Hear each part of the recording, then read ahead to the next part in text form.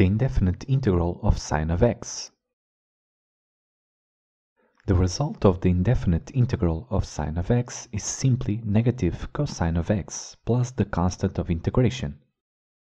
But why? Let's see some proofs of this statement. One of the other designations for integrals is antiderivative, which is the opposite operation of a derivative. So, if we take the derivative of negative cosine in relation to x, we will get sine of x.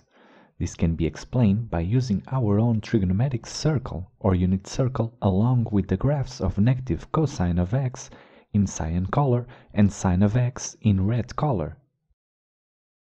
This derivative of negative cosine will measure how this function changes or varies with the independent variable x.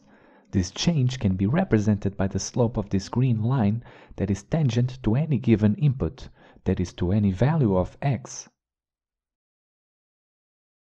Note that x is the angle that the radius of the circle does with the direction of the positive half of the horizontal axis.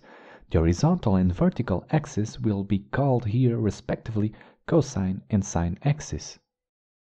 This radius is basically the hypotenuse of a right angle triangle with the adjacent and opposite sides to the angle x. And since the hypotenuse is 1, the adjacent and opposite sides are whatever values of cosine of x and sine of x.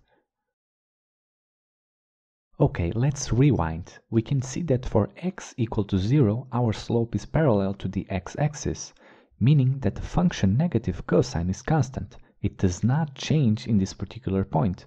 If there is no change, the derivative is zero, something we can verify on the graph of sine of x that initiates in zero. Then the slope of the green line becomes positive, that is for bigger values of x, bigger values of the negative cosine function are obtained. And so in the graph of sine of x, or derivative of negative cosine, the function becomes positive. 0 slope again, and 0 sine of x, followed by a negative slope that is for bigger values of x, smaller values of the negative cosine function are obtained, and the function sine of x becomes negative.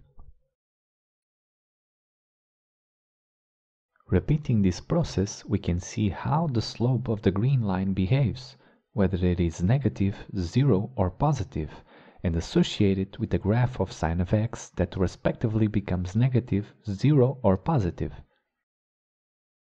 By doing this inverse operation, we can explain the outcome of the integral of sine of x. If the derivative of negative cosine of x is sine of x, then the antiderivative of sine of x is negative cosine of x plus some constant of integration.